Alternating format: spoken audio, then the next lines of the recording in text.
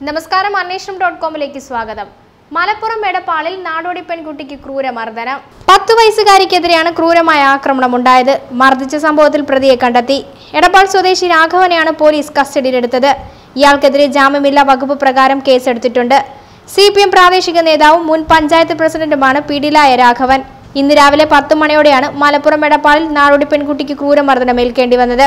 പത്ത് വയസ്സുകാരിക്കെതിരെയാണ് ക്രൂരമായ ആക്രമണം ഉണ്ടായത് ആക്രി സാധനങ്ങൾ പറക്കുന്നതിനിടെയാണ് കുട്ടിക്ക് മർദ്ദനമേറ്റത്. തലയ്ക്ക് പരിക്കേറ്റ കുട്ടിയെ എടപ്പാളിലെ സ്വകാര്യ ആശുപത്രിയിൽ പ്രവേശിപ്പിച്ചിരിക്കുകയാണ്. അയ്യപ്പന്റെ പേര് പറഞ്ഞ് തെരഞ്ഞെടുപ്പ് പ്രചരണം നടത്തിയ സുരേഷ് ഗോപിക്ക് കളക്ടർ നോട്ടീസ് അയച്ചത് ശരിയായ നടപടിയെന്നും നോട്ടീസ് അയക്കാനുള്ള അധികാരം കളക്ടറിനുണ്ടെന്നും തെരഞ്ഞെടുപ്പ് കമ്മീഷണർ ടിക്കാറാം മീണ. ഏറ്റവും അനുയോജ്യമായ എല്ലാ വശങ്ങളും കളക്ടർക്കറിയാം. കളക്ടർ പരിശോധിച്ച് തീരുമാനമെടുക്കും. പ്രഥമ ദൃഷ്ട്യാ ലംഘനമുണ്ടെന്നും അദ്ദേഹം പറഞ്ഞു. മാതൃകാ പെരുമാറ്റച്ചട്ടത്തിന്റെ ലംഘനമാണെന്ന് പ്രഥമ ദൃഷ്ട്യാ ബോധ്യപ്പെട്ടാണ് കളക്ടർ നടപടി സ്വീകരിച്ചത്. ഇനി സുരേഷ് ഗോപി മറുപടി തന്നാൽ മതി. മറുപടിയുടെ അടിസ്ഥാനത്തിൽ മാത്രമേ കളക്ടർക്ക് നടപടി സ്വീകരിക്കാൻ സാധിക്കൂ. യുക്തമായ തീരുമാനം റിട്ടേണിംഗ് ഓഫീസർ എന്ന നിലയ്ക്ക് എടുക്കാൻ സാധിക്കുന്നയാളാണ് കളക്ടർ. എന്താണ് സംഭവിച്ചത്? എത്രത്തോളം കാര്യങ്ങൾ സത്യമാണെന്ന് ഈ ഘട്ടത്തിൽ തനിക്ക് പറയാനാകില്ല. റിട്ടേണിംഗ് ഓഫീസർക്കാണ് ഇതിനുള്ള അധികാരം. ഈ വിഷയത്തിൽ താൻ ഇടപെടേണ്ട കാര്യമില്ല. എല്ലാ വശങ്ങളും പരിശോധിച്ച് കളക്ടർ തന്നെ ഈ വിഷയത്തിൽ യുക്തമായ തീരുമാനമെടുക്കുമെന്ന് അദ്ദേഹം പറഞ്ഞു. തിരഞ്ഞെടുപ്പ് കമ്മീഷൻ വിശദീകരണം ചോദിച്ച പ്രസംഗത്തിൽ താൻ ഉറച്ചു നിൽക്കുന്നതായി സുരേഷ് ഗോപി. തിരഞ്ഞെടുപ്പ് കമ്മീഷൻ നൽകിയ നോട്ടീസ് പാർട്ടി പരിശോധിക്കുമെന്നും നോട്ടീസിന് പാർട്ടി മറുപടി നൽകുമെന്നും തൃശൂരിലെ എൻ ഡി എ സ്ഥാനാർത്ഥി സുരേഷ് ഗോപി. അയ്യൻ എന്ന പദത്തിന്റെ അർത്ഥം എന്താണെന്ന് പരിശോധിക്കൂ. താൻ ഒരിക്കലും വിശ്വാസത്തിന്റെ പേരിൽ വോട്ട് തേടിയിട്ടില്ല. സ്വന്തം ഇഷ്ടദേവന്റെ പേര് ഉച്ചരിക്കാൻ കഴിയാത്തത് ഒരു ഭക്തന്റെ ഗതികേടാണ്. ഇതിന് ജനം മറുപടി നൽകും.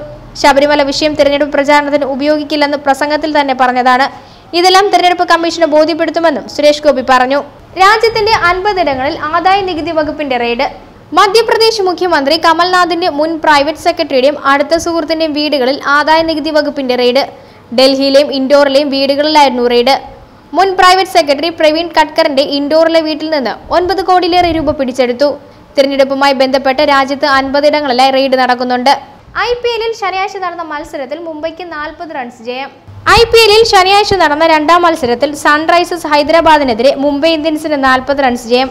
നൂറ്റി മുപ്പത്തേഴ് റൺസ് വിജയലക്ഷ്യം പിന്തുടർന്ന ഹൈദരാബാദിനെ മുംബൈ പതിനേഴ് ഓവറിൽ നാല് പന്തിൽ തൊണ്ണൂറ്റാറ് റൺസിന് എറിഞ്ഞിട്ടു ആദ്യ മത്സരത്തിൽ തന്നെ മൂന്ന് ഓവറിൽ നാല് പന്തിൽ വെറും പന്ത്രണ്ട് റൺസ് മാത്രം വഴങ്ങി ആറ് വിക്കറ്റ് വീഴ്ത്തിയ അൽസാരി ജോസഫാണ് ഹൈദരാബാദിനെ തകർത്തത്.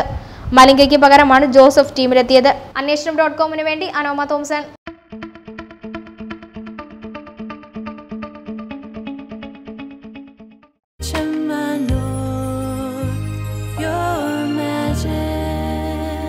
Trusted tradition of 155 years. Chemanur International Jewelers.